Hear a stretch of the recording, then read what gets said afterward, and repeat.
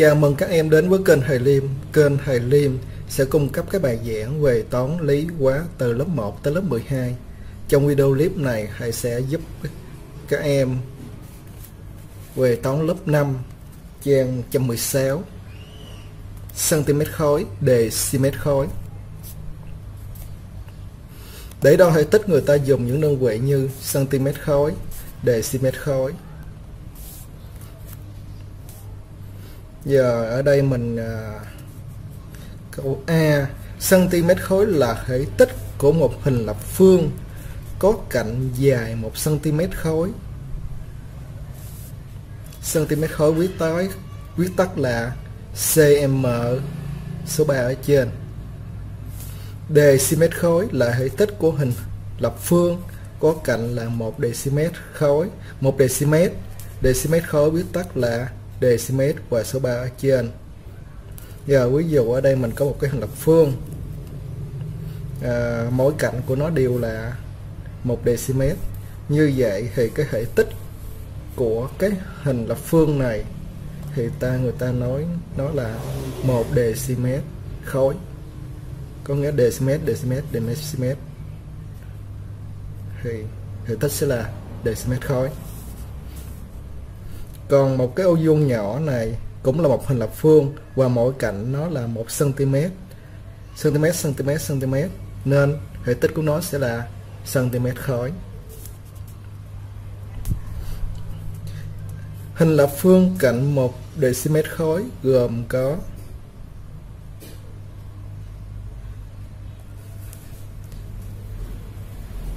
à, mỗi cạnh này mỗi cạnh là một dm khối, có nghĩa là 10 mỗi cạnh này là một dm có nghĩa là 10 cm như vậy 10 cm này là 10 cm này 10 cm và chiều này cũng là 10 cm như vậy khởi tích của nó sẽ là 10 x 10 x 10 là bằng 1000 hình lập phương, có cạnh là 1 cm nên ta có là 1 dm khối sẽ bằng 1000 cm khối.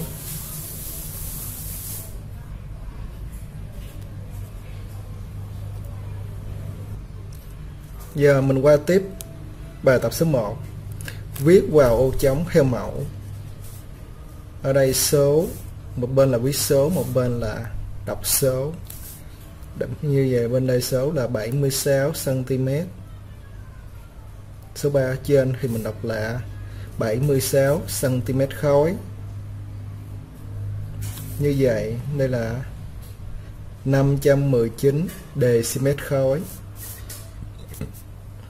85 85,08 dm khối 4 phần 5 cm khối. Ở bên đây là người ta cho mình cách đọc. 192 cm khối như vậy mình sẽ viết số. 192 cm khối. Rồi 2001 dm khối. 2001 dm khối và 3 phần 8 cm khối. Như vậy là mình có 3 bằng 8 cm khối. Thì ở đây thì mình cách đọc thì mình có thể viết ra bình thường. 500 519 decimet khối.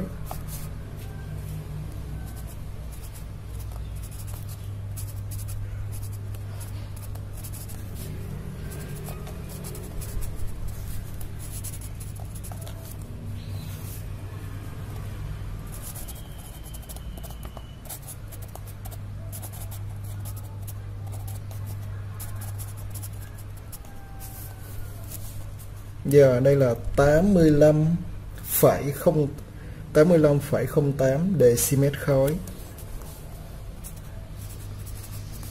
85 phẩy 08 decimet khối.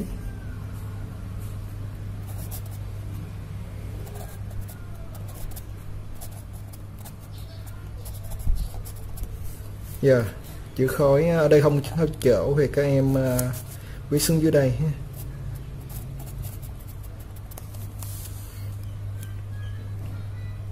giờ yeah, dạ, tiếp theo là 4 phần 5 cm khối 4 phần 5 cm khối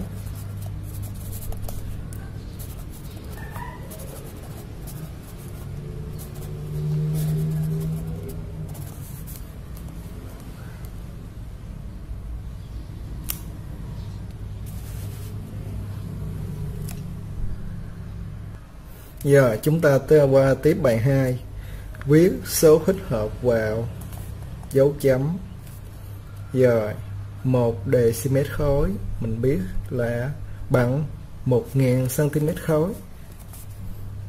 Như là một dm khối sẽ bằng 1000 cm khối. Giờ 5,8 dm khối sẽ bằng bao nhiêu? 5,8 dm khối. Sẽ bằng bao nhiêu cm khối? Mình sẽ lấy 5,8 nhân cho 1000 sẽ bằng 5000 800 cm khối.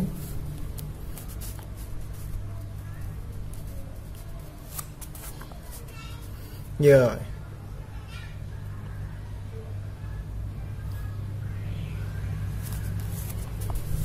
À, 375 dm khối 375 dm khối sẽ bằng bao nhiêu cm khối như vậy cứ đổi từ dm khối qua cm khối thì mình lấy cái số đó mình nhân cho 1.000 như vậy là 375.000 cm khối.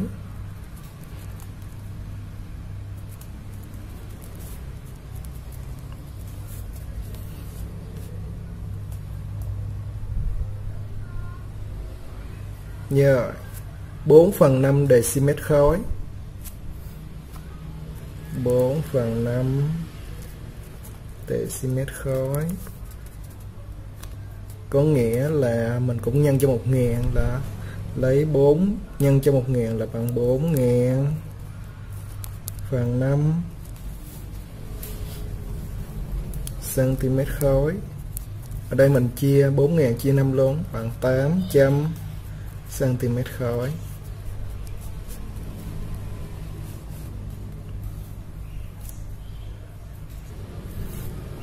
giờ mình qua tiếp câu B. Mình sẽ đổi từ ngược lại từ cm khối qua dm khối. Như vậy muốn đổi từ cm khối qua dm khối thì mình lấy cái số đó mình chia cho 1.000 như vậy 2.000 cm khối mà chia cho 1000 thì còn lại là 2 dm khối. Rồi 490.000 cm khối.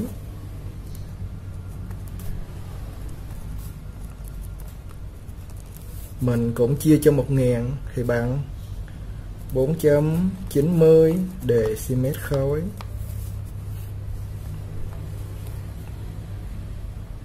Rồi 154.000 cm khối. 154.000 cm khối. Mình cũng chia cho 1000 thì chỉ còn lại là 154 dm khối. Rồi 5.100 cm khối.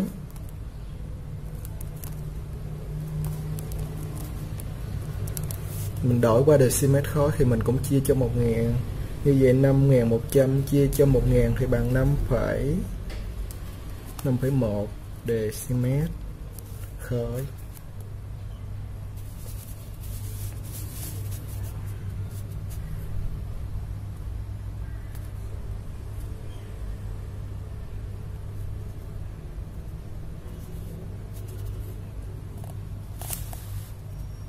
Yeah. Dạ. Video clip đến đây là kết thúc. Cảm ơn các em đã xem các em nhớ đăng ký kênh thầy Lem để xem những video clip bài giảng tiếp theo. Chúc các em học tốt. bye bye